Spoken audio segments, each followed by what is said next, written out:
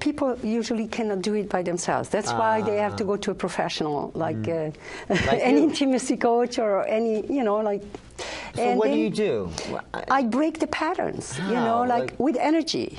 Energy and I, I talk in a certain way when the energy is high, so it goes right into the unconscious and they shift. Oh, like give me an example of that. no, how does it go into the unconscious? Well, you have to be in a certain level of, of uh, Uh-huh. uh, uh, away from your thought system. Right now, you're thinking. Yeah. You have to be away. I take them away from thinking into feeling uh, through breathing and other techniques. Mm-hmm, Oh, I see. So that when they are in the state, when I come in with a statement, it breaks the habit. So you're working with a couple one on one in their home. Yeah. Well, or they come to me actually. They- are you coaching them sexually too? Like, are they like you know having sex and you're there like you know?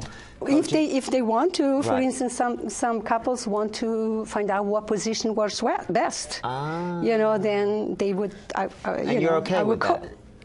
I'm happy to help them. not everybody would be comfortable in that I type am uh, very happy to help them. Though whatever needs to be done to help the couples, I'm really happy. okay, because you started as a regular therapist and you probably. Well, you know, as a regular therapist, I didn't reach the kind of um, um, benefits, you know, the, the mm-hmm. kind of changes that I mm-hmm. wanted to achieve. This is a much shorter way of dealing with situation. Shorter much why? shorter. It takes only like three, two or three sessions to break all the patterns and to do this and that. Whereas with psychotherapy, since you're talking from the head, it might take years before you go to those things. So the patterns are broken quicker because the people are physical with each other, Yes. and you're and you're changing their physical patterns of expression. Right. expression right.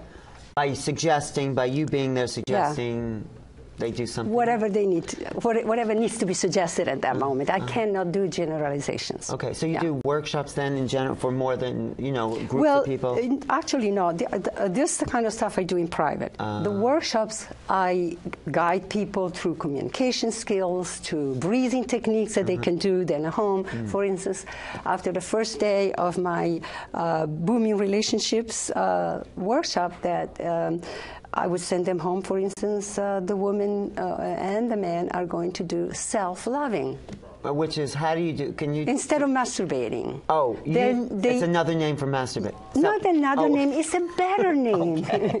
Masturbating is, is so Okay. is so sex centered. Okay, okay. Self-loving includes the whole person. Like it's like touching your whole Right. Okay. Yeah. Falling And- in love with yourself, and With then all of yourself. with all of yourself. Yeah. And then And then you include the sex center too. But if you start just with sex, it's very difficult to go to the other parts. Then. so from self-loving, then it's easier to connect with your partner. Yes. Is that, is that, and that's been the oh, case. absolutely. If you love me more than I love myself, I'm going to push you away. Ah.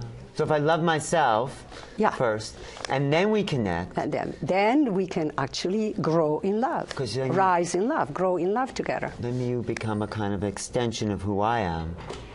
But that's such a hard piece, the self-loving. I mean, we may feel ourselves physically, Uh-huh. but the emotional thing behind self-loving, how do you get people It's a, into it's a very difficult. You need to start on, um, um, forgiving yourself for being human, so to say. We all make mistakes. We all do some stuff that we don't like to do sometimes. And when you say, what would you say to your best friend? It's okay, honey. You know, you were stressed. You, you made that mistake. But if I, you know, if a person who doesn't love themselves makes a mistake, then they would say, How stupid, I shouldn't have done it. That's not self loving, it's criticism. Right. And that doesn't create this So we have to stop those voices in our heads from, you know, getting down on ourselves. Yeah, stopping is not possible. You can. You, have, you need to pay attention to the breathing and to the connection Mm. and let those voices just float by. They never stop, they're always there. Mm. It's just we need to choose not to pay attention to it, not to invite them in and to start uh, in, uh, inter- interacting with them. and interf- yeah. When you start interacting with those voices, you lose. Right, right. So it's just like, okay, that. I know what you're saying. You've been saying them for 50 years. Right. Thank you for sharing. Let me be present. ah, so it's really coming being present. Oh, yeah. And in sex, lovemaking, it's all about Being present. being yeah. present. So thank you. Yeah, I you're mean- welcome. So, I mean, it's interesting you work particularly with baby boomers. I mean, that's how Yeah. you're marketing it. And it's Right. like we have been this generation of exploring sexuality more than any other generation. So, as we mature, there's probably ways that we'll express it differently as well. Right, definitely. We just said it when, when you were very young. Yeah. Uh, as a man, sexuality is very driven, you know, by these hormones, and you have to do this. And Mm-hmm. right away, it's very difficult to control and to be a good lover and, and last for two hours. Right. When you get older, you are actually enjoying. Men become more. Uh, relaxed with intimacy, Mm-hmm. then they, they start talking more about feelings a little bit. Mm-hmm. Women start becoming more self-assertive, Mm-hmm. more like men in a way, and they match more, Mm-hmm. right? Self-assertive, less critical of themselves. Mm-hmm. You know, I like myself more now than when I was 18. I was very self-critical of myself when I was 18. You know, yeah. So, and this is what this is like your whole work: the fact that people Yeah. can be more intimate, more expressive of their feeling, and, and like you say, have hotter, greater sex. Yes. Yes. And just by these, ta- is there anything else that people should know about having hot, great sex? Well, be spontaneous like children. Ah. The more spontaneous you are, and the more creative you are with your expression, the, be- the best uh, you have the best sex. Because, for instance, here you go. The children are gone, right, from the house. You have the whole house for yourself. Right. And now you can start making love in the kitchen table. You can, you know what I mean? That makes it exciting, that yeah. makes it exciting instead of just in the bed all the time and oh, let's be quiet because the children hear us, right? Uh-huh. So you can start to scream you can scream, and yeah. shout. You can be free. Uh-huh. Yeah. I think actually screaming is probably helps generate more pleasure as well. Uh, more energy and more pleasure, yes. so the, the other myth is, uh, and maybe this isn't a myth, is that women as they get older do enjoy sex more. Yes. Is that true? And there is also uh, the myth that, you know, like oral sex is for the young. Yeah. And the Kinsey Institute, which is one of the great institutes, Mm. uh, uh, they, they make a lot of um, studies about sexuality, says that women over 40 Uh-huh. Yeah. Do love uh, oral sex much, much more than when they were younger. Uh huh. Why Yeah. is that? Just they're more used to their bodies, or They uh, they have less uh, fear of being dirty. You know, they know if they clean there, they're clean. but when you're young, you feel, oh man, I don't know, I might not be clean enough, or my um, vagina might not be looking good enough, or whatever. Later on, you know, Later on, you you just enjoy it more. Yeah. Uh, and then sex does become more enjoyable. Oh, absolutely, women. yeah. Because somehow it's like they're also able to experience more pleasure because Mm-hmm. they're more comfortable in their bodies. Exactly. Yeah, Like- women are more comfortable, men are slower, and you are, they are more in alignment. Mm-hmm. Actually, the best sex is after 50. Okay. Let's. Is that good go. news? Yeah.